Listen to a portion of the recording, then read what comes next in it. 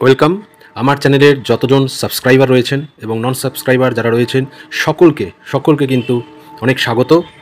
আজ উচ্চ প্রাথমিক, অর্থাৎ ডাব্লিউবিএসএসসি আপার প্রাইমারি এসএলএসটি দু হাজার ষোলোর যে খবর, সেটা নিয়ে একটু আলোচনা করব এবং একটা নতুন আমরা দেখেছি, এই যে আপনারা দেখতে পাচ্ছেন স্ক্রিনে হাজার পদে যোগ্য প্রার্থীর ঘাটতি নিয়ে কাউন্সিলিং উচ্চ প্রাথমিকে। এরকম একটা খবর কিন্তু বেরিয়েছে, একটা নিউজ পেপারে সেটা নিয়ে আমি একটু ডিসকাস করব এবং আপনাদের শোনাবো সেই খবরটি কী আছে। এবং তার আগে বলি যে আমাদের এসএসসির যে চেয়ারম্যান তিনি ঘোষণা করেছিলেন যে পুজোর আগে বলেছিলেন যে কাউন্সিলিং শিডিউল পাবলিশ করা হবে। তো রীতিমতো পাবলিশড সেটা অনেক আগেই হয়ে গিয়েছিল যে কবে কার কাউন্সিলিং রয়েছে। তারপর সেটাও বলেছিলেন যে পুজোর পরপরই মোটামুটি সপ্তাহখানেক আগে, অর্থাৎ কাউন্সিলিং শিডিউল হচ্ছে ছ তারিখ থেকে শুরু হচ্ছে হচ্ছে যেমন আপনারা জানেন যে ছয় নভেম্বর থেকে দোসরা ডিসেম্বর অবধি চলবে। তো ছয় নভেম্বরের এক সপ্তাহ আগে যারা দূর দূরান্ত থেকে আসবে, সেই সুবিধার্থে কল লেটার বা ইন্টিমেশন লেটার ডাউনলোডের প্রক্রিয়া চালু হয়ে যাবে। তো সেই ডাউনলোডের প্রক্রিয়া চালু কিন্তু অলরেডি হয়ে গেছে। সেটা নোটিশটাও জারি হয়েছে এবং আপনারা দেখেছেন যে অনেকে ডাউনলোড করে নিয়েছে, সেটা একত্রিশ অক্টোবরের সম্ভবত সেটা পাবলিশ হয়েছিল।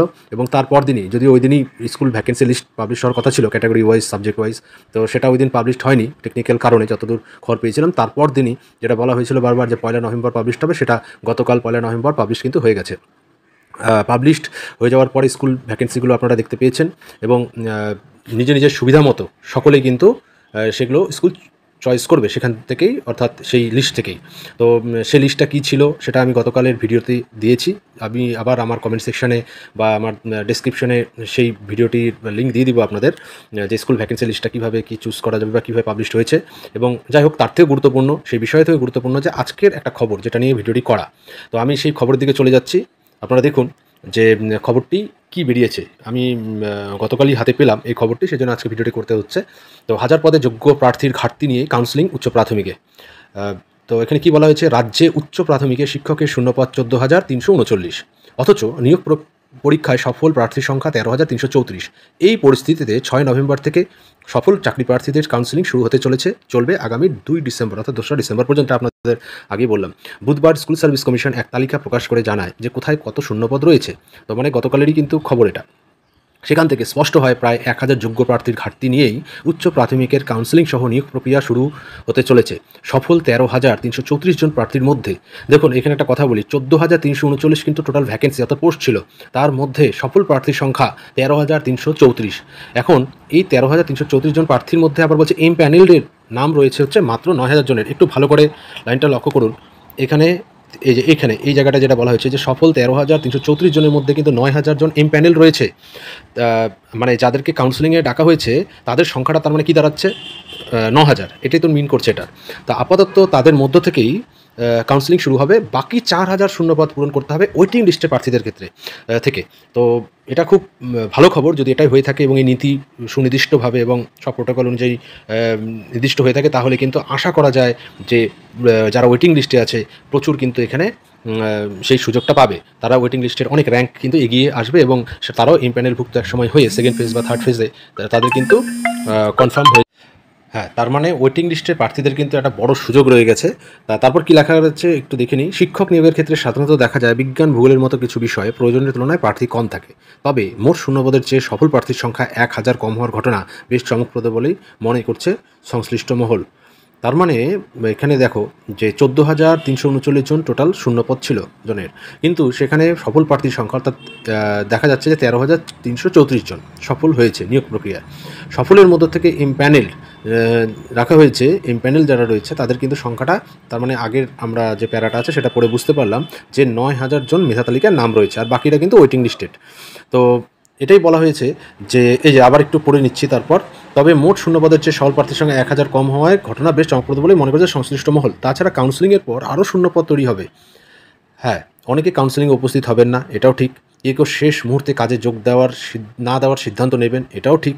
যদিও এই সংখ্যাটা খুবই কম হবে বা না বললেই চলে, কিন্তু কাউন্সিলিংয়ে উপস্থিত হবে না। হ্যাঁ এরকম আছে যে শিক্ষক যদি এরকম কোনো ক্যান্ডিডেট থাকে, যদি স্কুল চয়েস না হয়, তাহলে কিন্তু সে বা নাতে না পায়, তাহলে কিন্তু সেটা বাছাই করবে না বা সেটা রিফিউজ করবে। তো এটা হলো একটা দিক। আরেকটা দিক হচ্ছে উম, অনেকে আবার র্যাঙ্ক করেছে। কোনো একজন এসসি ক্যান্ডিডেট যার এসসি ক্যাটাগরি তো এসসি আছে সার্টিফিকেট তো সে হয়তো এসসি দেখে বসেছিল কিন্তু সে জেনারেলে র্যাঙ্ক করে গিয়েছে। আবার তার এসসিতেও কিন্তু নাম রয়েছে। হ্যাঁ এরকমটা যদি হয়ে থাকে তাহলে কিন্তু কোনো এসসি স্কুল যদি তাকে দেওয়া হয়, সেটা পছন্দ হলো না। তার জেনারেলটাই পছন্দ হলো। মানে এসসি স্কুল তার পছন্দ হলো না যে লিস্টে থাকা স্কুলগুলোর মধ্যে। কিন্তু জেনারেল স্কুল পছন্দ করল, তাহলে কিন্তু এসসি একটা ভ্যাকেন্ট হয়ে গেল। তাই না? তাহলে সে তো উঠে গেল জেনারেলি ভরে গেল। তাহলে তখন কিন্তু এসসি একজন ওয়েটিং লিস্টের থেকে কিন্তু একজন উপরে উঠে আসবে।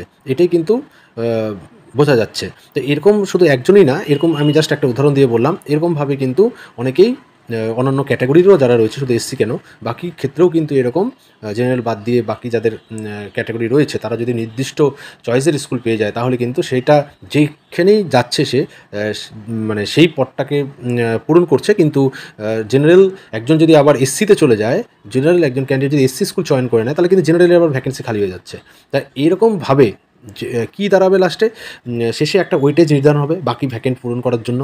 ওয়েটেজ অনুযায়ী জেনারেলের একটা ওয়েটেজ হবে এসসির একটা ওয়েটেজ হবে ওবিসির একটা ওয়েটেজ হবে, এইভাবে ভাগ করে ওয়েটেজ দিয়ে কিন্তু তখন বাকি যে শূন্যপদ, যেটা টোটাল কাউন্সিলিং হওয়ার পরে জানা যাবে যে কত তাহলে ভ্যাকেন্ট পড়ে থাকছে প্রত্যেকটা সাবজেক্ট ওয়াইজ তখন সেগুলোর থেকে সেগুলোর থেকে, অর্থাৎ ওয়েটিং লিস্ট থেকে কিন্তু টেনে টেনে তখন কাউন্স কাউন্সেলিংয়ের জন্য তাদেরকে ডাকা হবে এবং তাদের সেকেন্ড ফেসের জন্য কিন্তু একটা ডেট দেওয়া হবে। যদিও কাউন্সিলিং শেষ না হওয়া অবধি সেই সংখ্যাটা কিন্তু এক্স্যাক্টলি বলা যাচ্ছে না, তবে প্রচুর শূন্যপদ তৈরি হবে।